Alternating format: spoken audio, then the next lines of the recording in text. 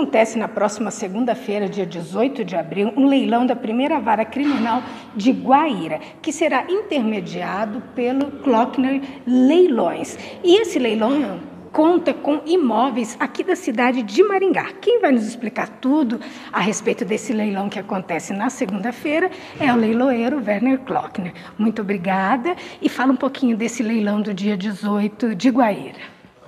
Boa tarde, boa tarde né? É, esse leilão da Justiça Federal de Guaíra, da primeira vara federal, ele acontece de forma virtual. São três imóveis, apesar da vara ser a vara de Guaíra, os imóveis estão localizados aqui em Maringá. São dois apartamentos no edifício Santi Antoini, é, o apartamento 1202 e o 1205 e 1204, melhor dizendo.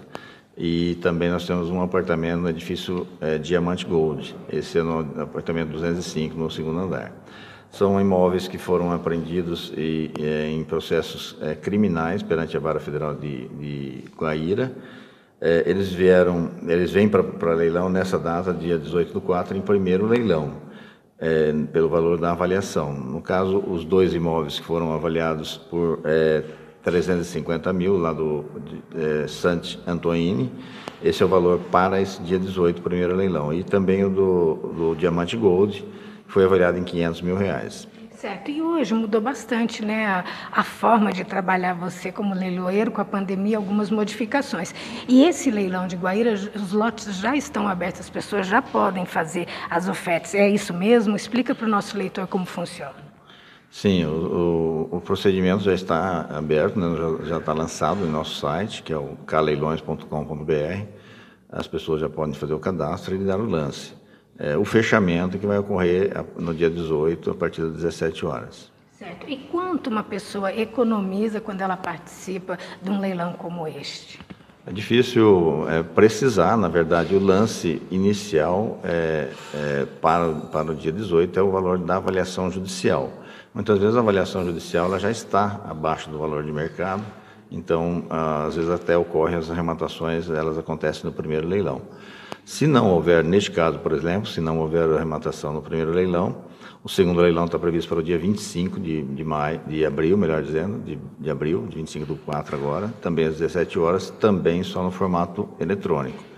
E nessa ocasião, eles vêm por 60% do valor da avaliação é, é, não dá para dizer que vai ser vendido nesse valor. É, o, que, o que a gente pode é, e, e, sinaliza é um lance mínimo, e a partir daí ocorre a disputa, muitas vezes o preço, às vezes até ultrapassa o valor da avaliação. Certo. Além desse leilão de Guaíra, no dia 18 tem outros leilões que acontecem aqui da, da Klockners Leilões. É, nós temos um calendário né, que está disponível, assim que você acessa o nosso site, ele já leva direto para a página da, da agenda, né? E no dia 18, nós temos, além desses leilões da, da, da, Federal de Guaíra, que são imóveis aqui em Maringá, temos também alguns veículos é, pela Justiça Federal de Maringá, terceira vara criminal também. É, temos outras situações de é, autopiquiri, é, é um processo também da vara de família de, de Sarandi, é uma, uma fração ideal do imóvel. Nós temos também um processo de alienação fiduciária, que é um leilão extrajudicial de um imóvel é, comercial, industrial aqui em Maringá é um barracão. É, ele, ele vem também para leilão, primeiro leilão no dia 18, é, esse às 9 horas e 30 minutos, também só da forma eletrônica. Ele foi avaliado em R$ 1.855.000 mil é, reais e no segundo leilão ele vem por R$ 1.828. Esse aqui é um leilão específico da alienação fiduciária, onde o bem no primeiro leilão ele é pelo valor da avaliação contratual e no segundo leilão ele vem pelo valor da dívida do, do devedor, né, no caso. Uh, é uma lei específica para esse tipo de contrato e, e, a gente também presta esse tipo de serviço. É, basta que a pessoa não pague três meses que já cai em alienação fiduciária, é, mais temos, ou menos assim, né? É, nós temos dito sempre que a alienação fiduciária é um tipo de, de contrato, é um tipo de financiamento bastante cruel, na verdade. É, é se, o, se não houver o pagamento de três parcelas ou é, seguidas ou alternadas, é, o, o, o, credor já pode é, consolidar a propriedade em seu nome no, no, cartório de registro de imóveis, depois de notificar o devedor. Se não houver o pagamento, ele pode consolidar a propriedade. E aí a lei determina que, uma vez consolidada a propriedade, ele tem é, que fazer os dois leilões. É, esse primeiro pelo valor da avaliação e o segundo pelo valor da dívida. Então, você nos contava que mudou bastante o seu método de trabalho. Antigamente você tinha que viajar para Foz do Iguaçu, tinha que viajar todo o estado, às vezes até fora, para realizar um leilão. E hoje já não é mais assim, né? Otimizou bastante o trabalho, Werner? É, modificou, né? Na verdade, a gente viaja bastante ainda, mas é, é, é, os leilões deixaram de ser os, os leilões presenciais, né? Eles, o, é, com o evento da pandemia, antigamente eles aconteciam da forma presencial e online. A partir do momento que ocorreu a pandemia, eles passaram a ser só no, formato eletrônico, no, no, lance online.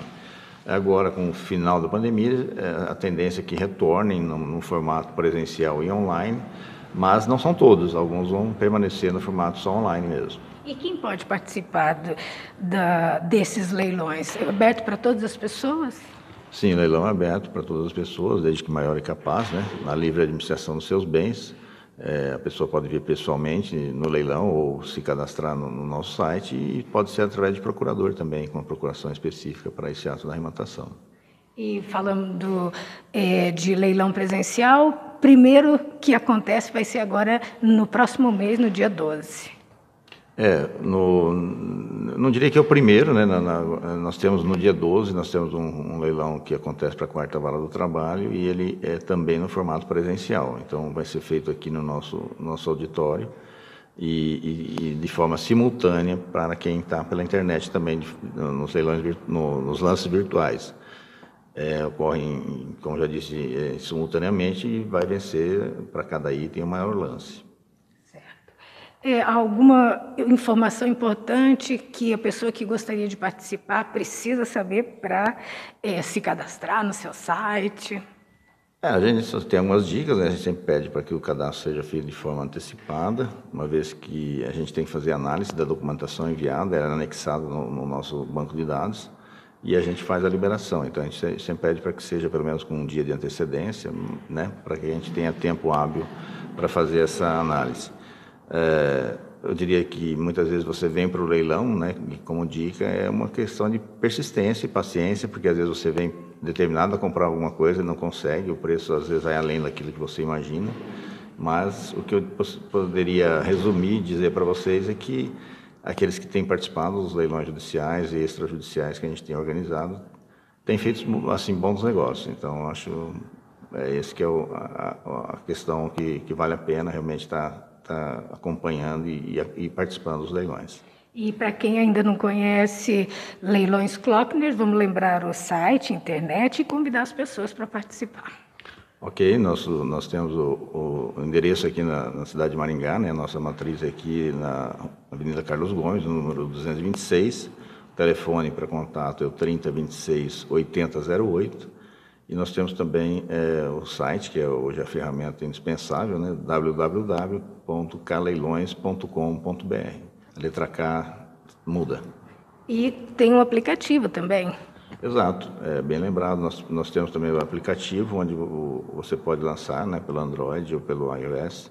E é possível lançar também o nosso aplicativo, pelo celular, smartphone. Muito obrigada. E nós vamos continuar acompanhando os leilões da Klockner aqui no Fato Maringá.